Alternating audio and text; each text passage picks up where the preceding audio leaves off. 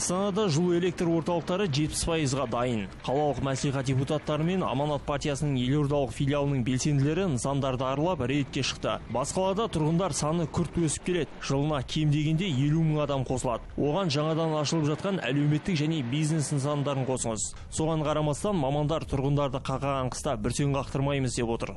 Бүгінгі күні жылыту маусымына дайындық бекітілген кесте бойынша барлығы уақытылы жүргізіліп жатыр ешқандай кедергі жоқ. Бүгінгі таңда жыл, жылу беру станция көздері екі станцияда бізде жұмыс жоспарланған.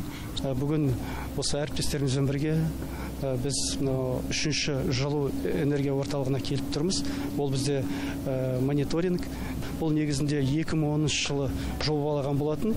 Әрине халыққа бұл өте бір ауыр тиді жиырма үшінші жылы былтыр алғашқы жылуын қалаға берді. Қазіргі беріп жатқан жылумен халық артығымен жылумен қолданып отыр.